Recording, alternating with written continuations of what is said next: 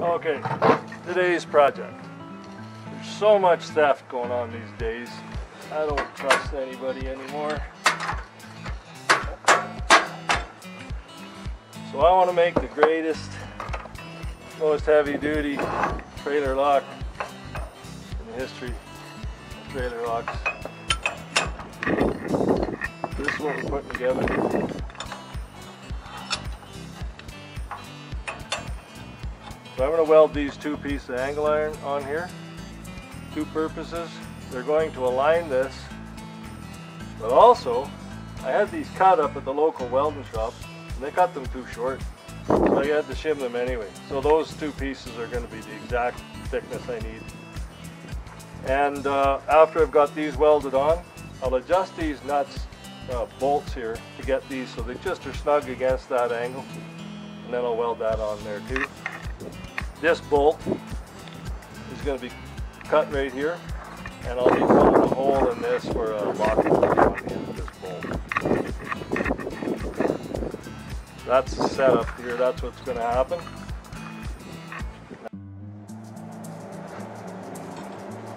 Well, I got a couple of welds done here.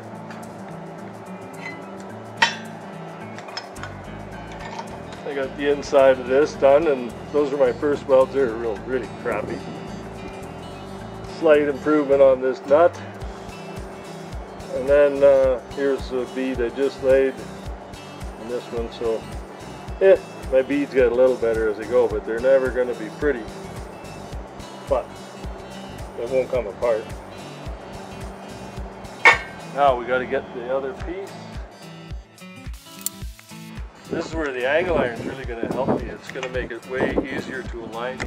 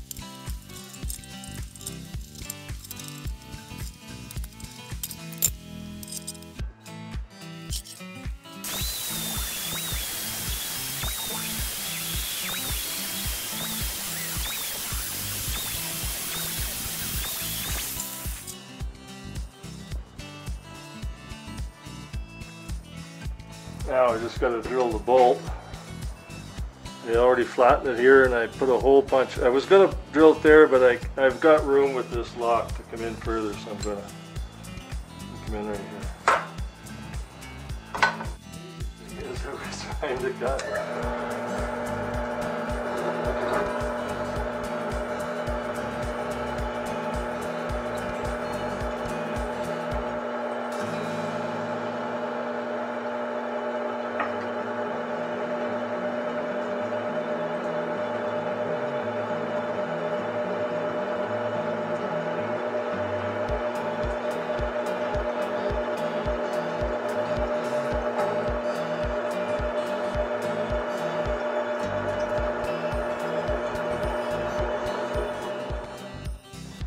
Bolt drilled. I had to go get a lock with a longer shank, but that's okay, that works.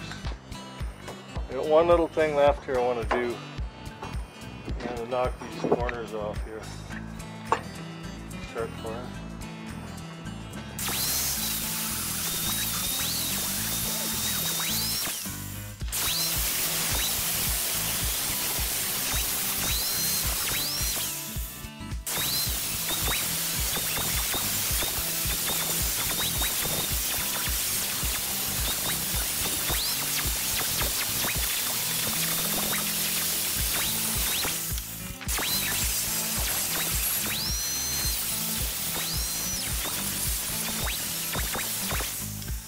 All right, let's go put this thing on this boat trailer here and see what happens. This, of course, is like the most overkill lock you'd ever have, but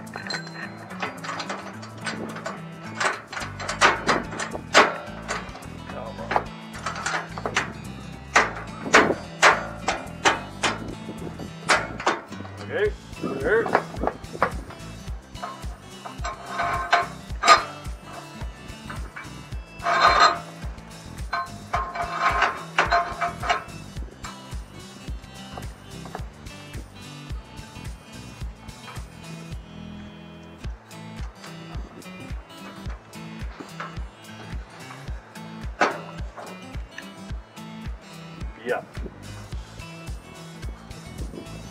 Even if you open this, that ain't coming off.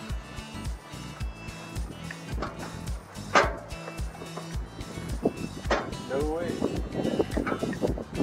There it is. My uh, do-it-yourself trailer lock. Now, as I said earlier, we're building two of them. We'll put one on this uh, utility trailer as well.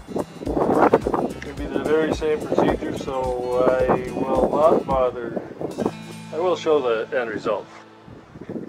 Once I have it built, I will, uh, you know, I'll show it. I'm going to uh, assemble this so to make sure it's aligned correctly.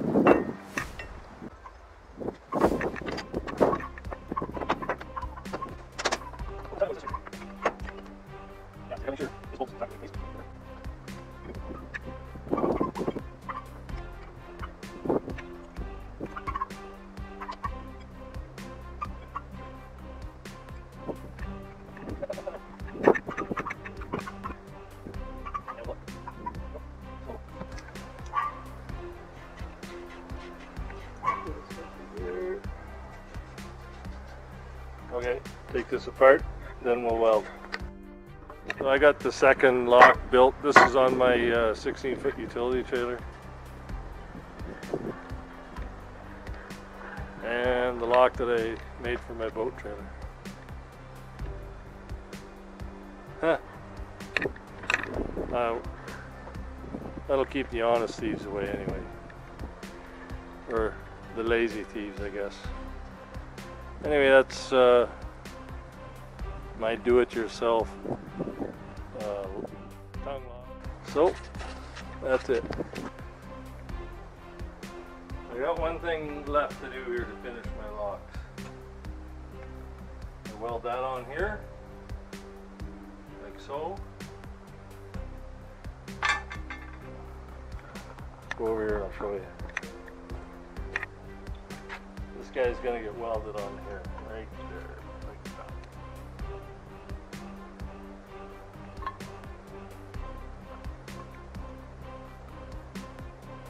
Actually, just looking at this, I'm going to have to add a piece here at the back as well, right here. The whole purpose of this is so someone can't put bolt in. So I need to put the piece here, but I also am going to have to put that here. And then this will be welded. Welded on here. Damn it.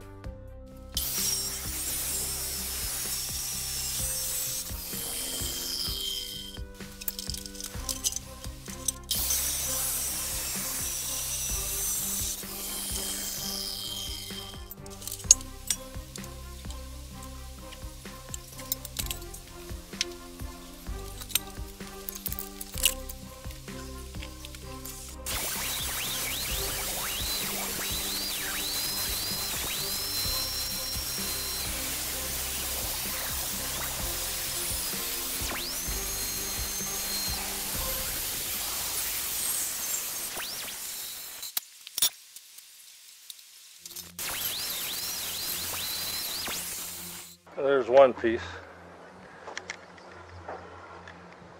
Okay, I'll go right here. Lovely. Okay. We'll cut another one.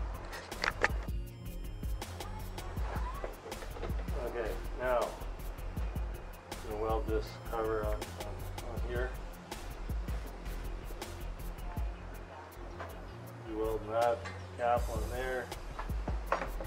And a piece here at the back. And nobody put bolt cutters on. So check that out. The entire Eddie's on sale half price. Got myself a new welding helmet. Auto darkening lens.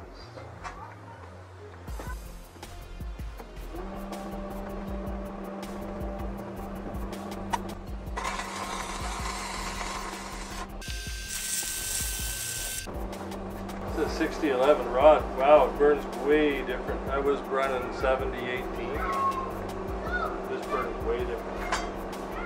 Don't need uh, as much amps on the welder.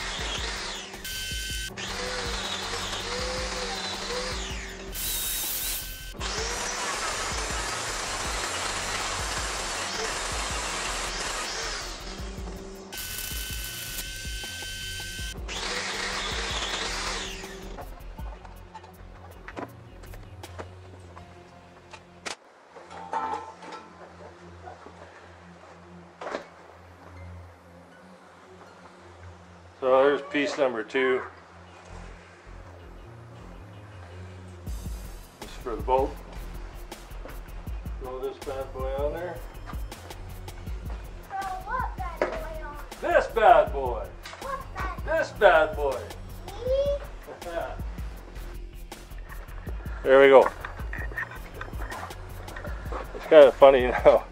This extra weight that's sitting on there, the lock doesn't want to sit up right there. That doesn't matter. It ain't coming off. This guy, same thing. Well, don't look at the lawn. I don't even want to talk about that project. That there's evil. Evil. Okay,